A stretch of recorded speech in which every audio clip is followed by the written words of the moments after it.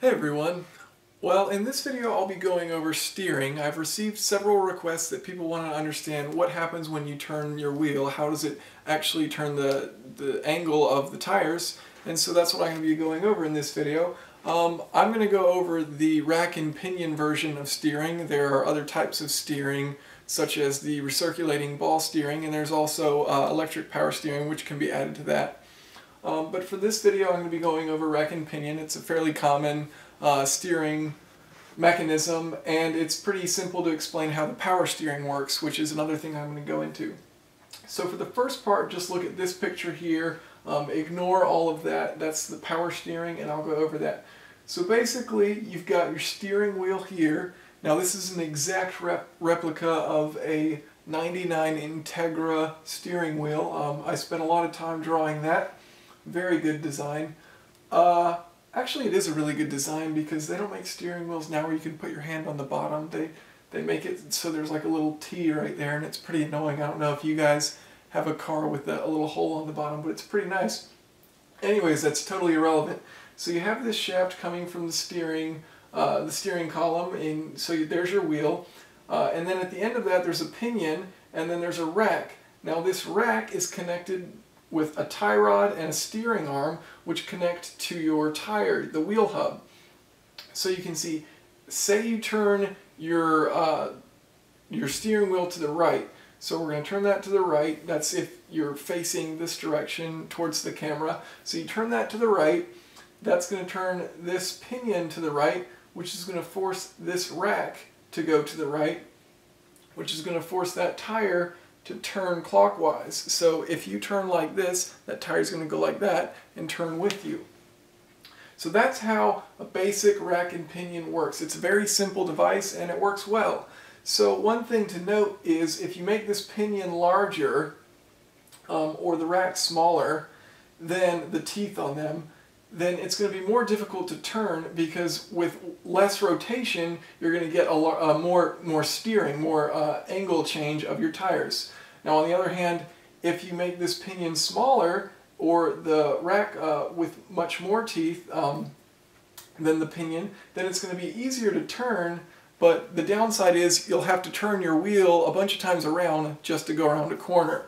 So there's kind of like a, a nice balance that you want to find in there. Um, in sports cars will be a little tighter where you can turn more with less uh, actual turning of your wheel than say for instance a bus or something like that where you you know you've got a large force that you need to to deliver um, in order to turn the vehicle.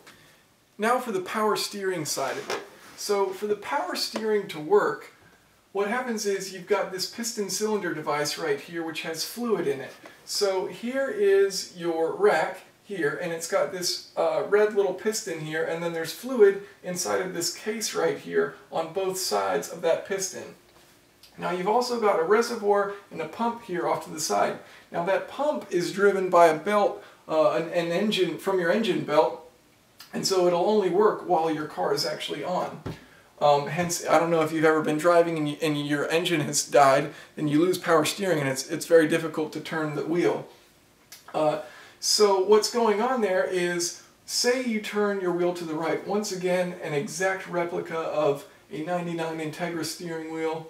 Um, put a lot of work into that drawing right there, good stuff. Anyways, if say you turn that wheel to the right, like we did earlier, now there, this rotary valve here is where all the magic happens. So this rotary valve will open up this side of the piston cylinder device and it will allow the fluid in there to flow out to the reservoir. Simultaneously, when you turn the wheel, that uh, rotary valve will allow the fluid from the pump to flow into the uh, this side of the piston cylinder device. So your pressure is going to increase on this side and decrease on this side, which is going to force your uh, rack to move that direction, meaning your tires will rotate the direction you want. And so it'll be very easy to do because that pressure is what's applying the force there and you're just simply rotating the wheel to where you want it to be. Now, if you were to change it around and turn your wheel to the left, well, this awesome rotary valve would simply just switch the directions that things flow. So instead of the fluid flowing um, from the right side of the piston cylinder area right here to the reservoir, it would flow from the left side to the reservoir, and then the pump would flow into the right side. And so then it would force it that direction, and then your tires would turn the other direction. So it's a pretty cool uh, device, and it's, it's pretty simple as far as the rack and pinion and, and visualizing how it turns. Uh, and so I'll try and find an example, and I'll attach that to the end of this video of a, a real-world scenario. Now, electric power steering, so what that does, instead of using a fluid like this, it'll include a motor in there, and the motor will assist you in turning. And there's also, as I mentioned, a recirculating ball uh, type of steering. So if you want to look into that, that's another another option out there. But for this video, I just went over the uh, standard rack and pinion steering. So here we have the steering rack on a Dodge Dakota. You can see the steering wheel input comes in here, and it'll pass along down this shaft. So this is where your pinion's going to be and your pinion is connected to this rack which is inside this tubing here and then each of these tubes one will lead to the reservoir and one will lead to the pump for the power steering. And so then that if we follow this along you can see gets passed to the outside tires. So that's connecting right here to the front of this tire here for turning. So very simple setup. You just turn the steering wheel it turns that shaft right there which turns on the rack right here, which pushes your tires in either direction.